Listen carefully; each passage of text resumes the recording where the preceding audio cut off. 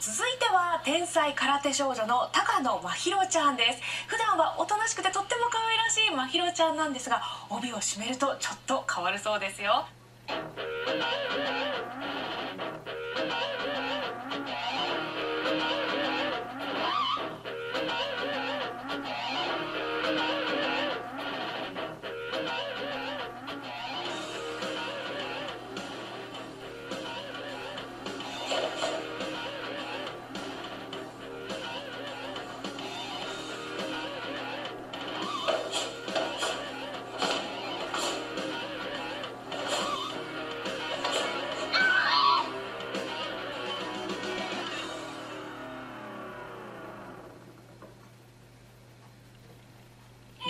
市の空手団体悠空会。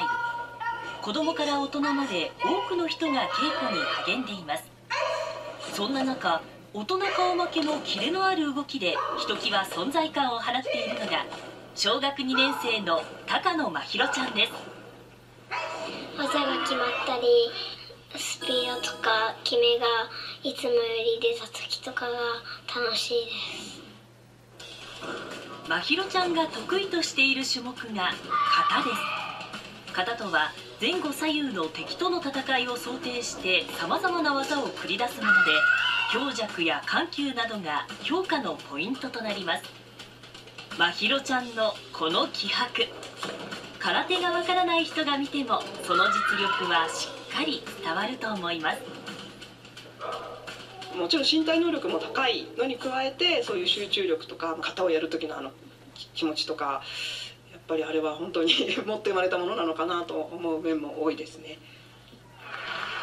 去年8月日本武道館で開かれた全日本少年少女空手道選手権大会。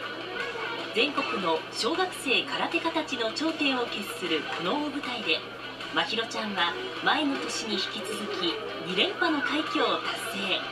その名を全国に轟かせました。ちょっと緊張することもあったけど最後まで頑張ることができました。毎日練習を頑張ってしているからそういう風になれたんだと思います。すごい。すごい。キレがある力強く。スピードとかがあのあってなんかすごいなって。大人としてちょっとかっこ悪いとこ見せられないな。と はい。ちょっと自分も頑張ってます。はい。真宙ちゃんの才能や努力はもちろんですが彼女の強さの秘密はどんなところにあるのでしょうか？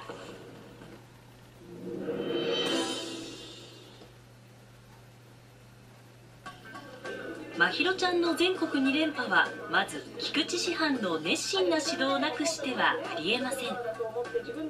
まあ型が好きで私はあの型の魅力にはまってしまって、まあ、ずっと空手をかれこれ40年以上続けてきてるわけですけども苦しいんですよね。基本的に空手の練習とか、まあ、何でもそうだと思いますけどあの頑張って頑張ってその自分のできなかったことができるようになっていく。努力したことがこう必ず返ってくるっていうことも一つの大きな魅力なんじゃないかなと思うんですけど。難しいところもあったけどだんだん慣れていくうちに上手になってきました。褒められた時とかスピードとか決めがいつもより出た時とかが楽しいです。菊池師範も真宙ちゃんも心底型が好き。この2人の出会いなくして現在の真宙ちゃんはありませんでした。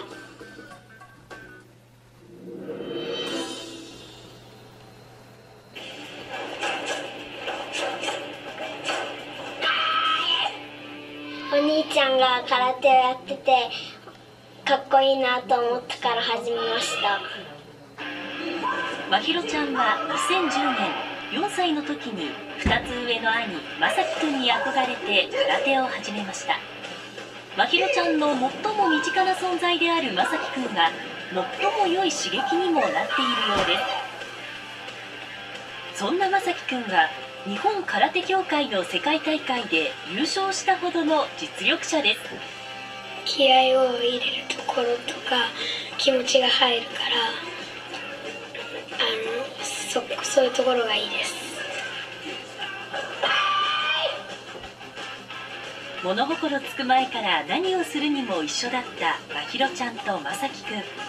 先に空手を始めたお兄ちゃんがどんどん強くかっこよくなっていく姿を見ていたまひろちゃんが自ら空手をやりたいと思うようになったのもある意味必然だったのかもしれません。お兄ちゃんに近づこうと練習に打ち込んだまひろちゃんはいつしか日本一の腕前に。そんな妹の成長ぶりをお兄ちゃんは？すごいなと思いました。越されないようにこれからも練習を毎日毎日頑張っていきたいです。強い兄とその背中を追う妹。2人は切磋琢磨しながらますます強くなっていくに違いありません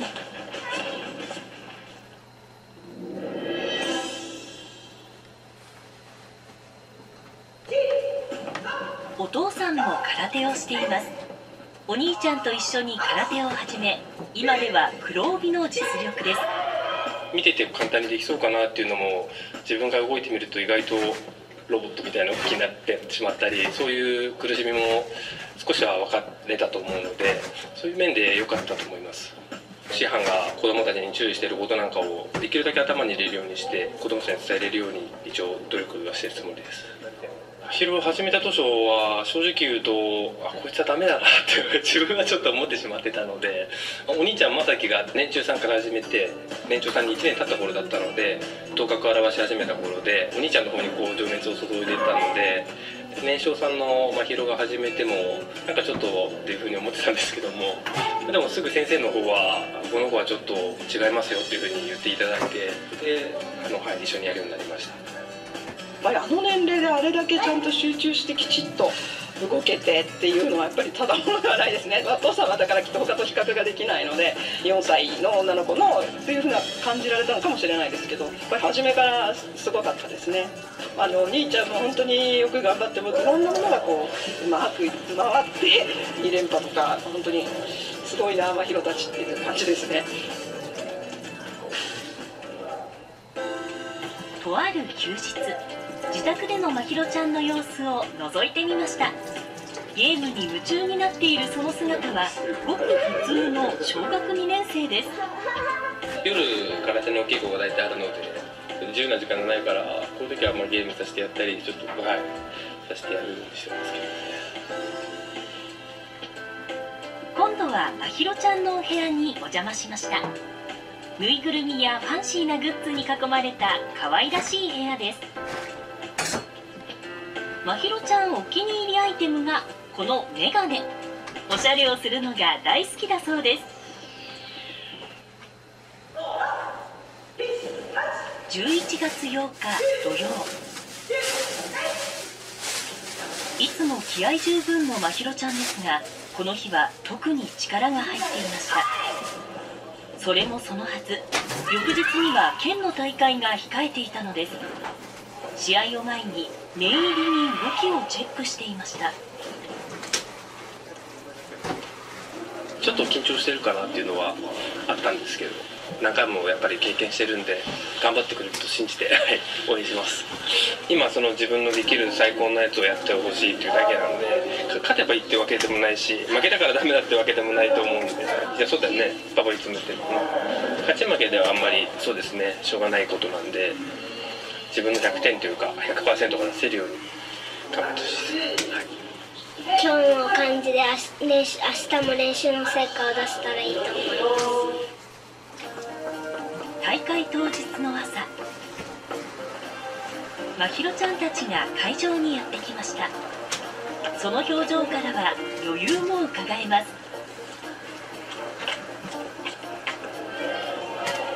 新潟県スポーツ少年団が主催するこの大会には県内およそ300人の選手がエントリーしています。この大会学年別ではなく低学年高学年という2つのクラスしかありません。2年生のまひろちゃんにとっては上級生と戦う厳しい試合となります。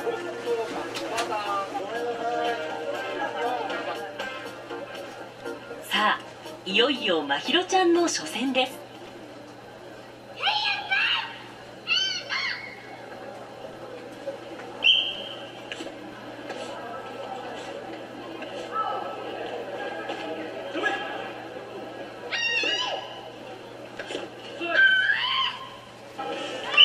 今日も気合十分。堂々の演武で順調に勝ち続け決勝戦に駒を進めます。大会スタッフとして参加したお父さん。我が子の様子が気になりますがずっと我慢して業務に集中します。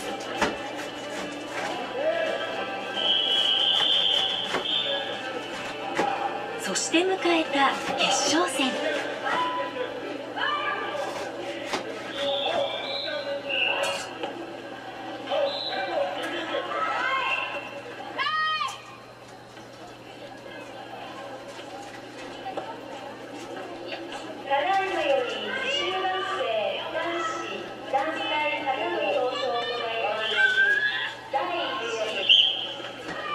まひろちゃん上級生を抑えて堂々の優勝です。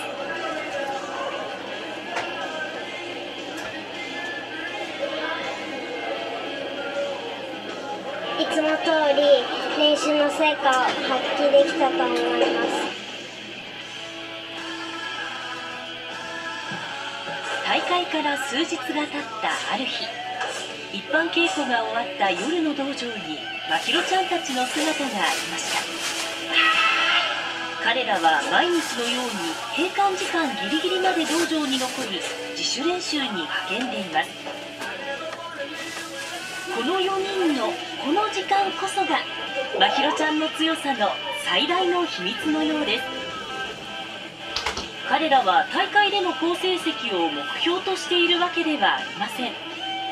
今よりもより力強くより速くさらなる高みを目指し飽くなき挑戦が続きます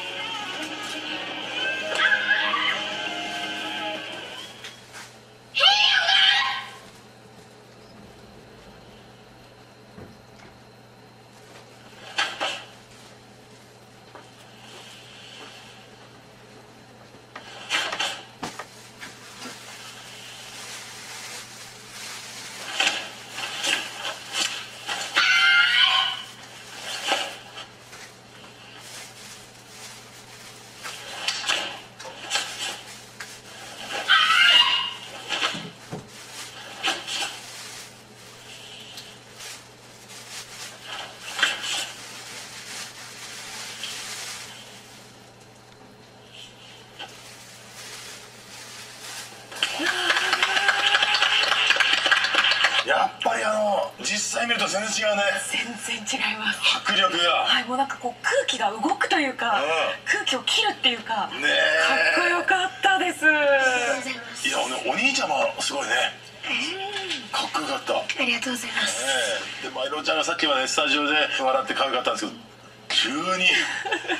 ものすごい怖いと思ったね。ね。ええ。あれ集中したの？ええ。なんか集中する時になんか考えることとか秘訣秘訣みたいなのある、相手がいる意識で、そういう意識でやってます。人がいるっていう意識しながら、へえこれお兄ちゃんの空手を見て始めたんでしょ、お兄ちゃんかっこよかった、あー。どう どうお兄ちゃん言われて？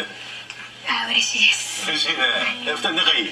いやそう普通そう 二人して。二人で一緒に組み返しがなくあーでも。一緒にゲームしたりして、はい。ねいつも仲良く、あのね何がすごいかって、ザッて動いた時の止まった時にねブレないんだよね。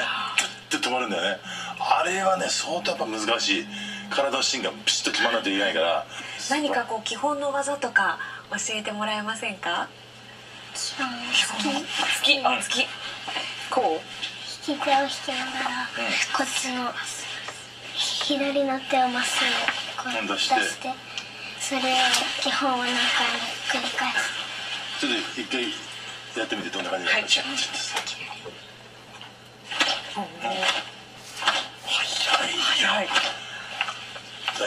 行きますこうですよね行きますあこう民間でさ行きますなんで今自分でシュッてお母ちゃん自分でシュッて言わないでしょ言わないじゃあちょっとバレーカー代表して、はいそうですちょっと難しいよね。どうだったからグーだからね。様子見てみて苦笑い苦笑いですね。はい、まあ、そんな空手なんですが近年空手の注目度どんどん高まっていましてオリンピックの正式種目化に向けて空手協会全体が大変盛り上がっているそうなんです、ああそうやっぱね。全体盛り上がってでね。オリンピック種目になるにはやっぱりね。その国で一つのこの団体とかにならないとなかなかこの採用されないので一致団結するとやっぱ大事だと思いますね、はい、もしかしたら将来オリンピック選手になるかも。ありえますね。しれないですよね、はい。楽しみです。さあ CM の後はまひろちゃんにさらに別の技を披露してもらいます。皆さん心の準備は？だからな全然じ準備なんかできてませんよ何ですか？はい、今からですねまひろちゃんには板割りを。板割りを。はいしてもらいますそして河合さんには板を持ってもらいます。そういう心の準備ってこと、そうなんです。えまるちゃんい板割りとかややったことある？いやまあたうんあります。ある？たまに失敗とかする？する時もあります。いやもう怖いな。まさきくんに板の持ち方ちょっと持ち方教えてもらえはい。あのこういう感じでこっち向き持って逃げないであの蹴りやすくこう前気味の気持ちにするとあの割れると思います持ち方っていうのはいやちょっとこうドキドキします。え手で割るの？足で。足。これぐらい？どれぐらい？足ってことはもしかしたら河合さん頭にポッてくる感じ。あ危ない。高さこんぐらい大丈夫？それでい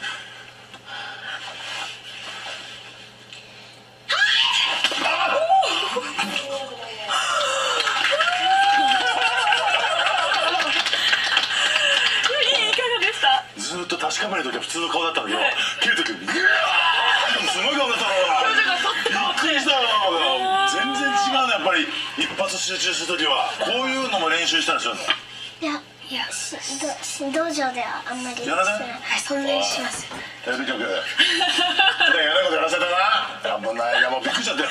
本当に。かっこいいね。すごい。どうですか？同じ女性として見て。かっこいいです。本当に憧れます。え。えか彼女何やってもすごくなりそうな気がする。そうですね。体操やっても日本代表かもしれないしまひろちゃんでは夢を教えてください。毎日練習を頑張って空手がオリンピックの種目になってオリンピックで優勝したいです。うわー。チャンピオンになったらもうすごいよね。兄弟で世界一も夢じゃないですね。ね、もうぜひ頑張ってください、ありがとうございます